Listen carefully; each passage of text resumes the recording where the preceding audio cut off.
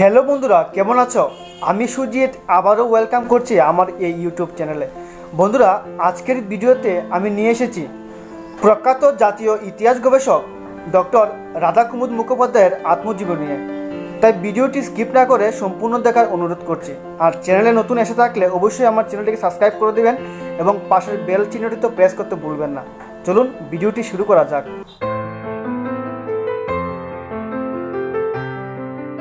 প্রখ্যাত জাতীয় ইতিহাস গবেষক ডক্টর রাধাকুমুদ মুখোপাধ্যায়ের জন্মগ্রহণ করেন আঠারোশো একাশি খ্রিস্টাব্দের পঁচিশে জানুয়ারি। তার পিতার নাম হল গোপালচন্দ্র মুখোপাধ্যায়।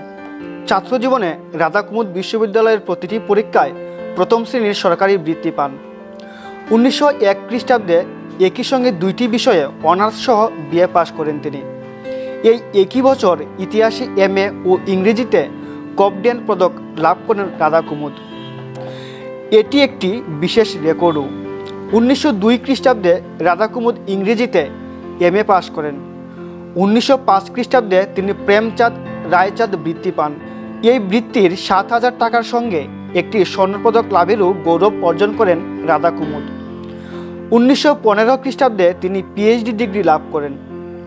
রাধাকুমুদ মুখোপাধ্যায় উনিশশো তিন খ্রিস্টাব্দে রিপন কলেজে ইংরেজি সাহিত্যের অধ্যাপক রূপে যোগ দেন। পরবর্তীকালে তিনি Bishop College, National Council of Education, Bengal National কলেজেও অধ্যাপনা করেছেন। বাংলার বাইরে থেকেও অধ্যাপনার জন্য একাধিকবার আমন্ত্রণ পান তিনি।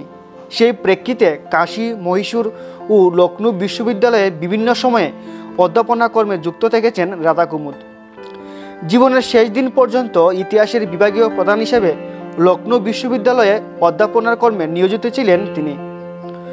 উনিশশো ছয় খ্রিস্টাব্দ থেকে উনিশশো পনেরো খ্রিস্টাব্দ পর্যন্ত জাতীয় শিক্ষা প্রচারকের কার্যে বিভিন্ন জেলায় ভ্রমণ করেন রাধাকুমুদ।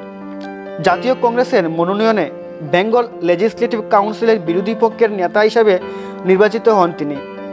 বাংলার সরকারের ফাউন্ড কমিশনের সদস্যও ছিলেন তিনি। রাধাকুমুদ ওয়াশিংটনে এফএ ও প্রিপারেটরি কমিশনে ভারতীয় প্রতিনিধি নির্বাচিত হন। তিনি কাউন্সিল অফ স্টেটের রাষ্ট্রপতি মনোনীত সদস্য ছিলেন। রাধাকুমুদ মুখোপাধ্যায়কে বরোদা সরকার ইতিহাস শিরোমণি উপাধি দিয়ে সম্মানিত করেন।